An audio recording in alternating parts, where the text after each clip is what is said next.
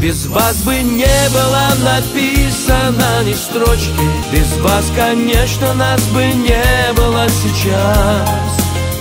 Родные жены, мамы, бабушки и дочки. От всей души.